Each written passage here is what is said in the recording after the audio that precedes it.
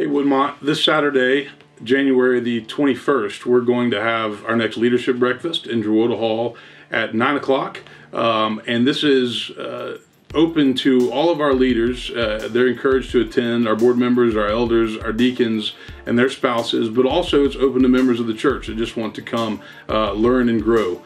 Uh, Dr. Rubel Shelly, who is a, uh, uh, a pastor, uh, also a professor at uh, Lipscomb. We had him preach here back in December, is going to come and share some of his reflections about ministry and the church and also where he sees the church going in the future, uh, changing trends, um, issues of uh, missional vitality and spiritual formation, and uh, it should be a great day. So we'll have uh, Rubel come and share, and then we'll have a time for Q and A.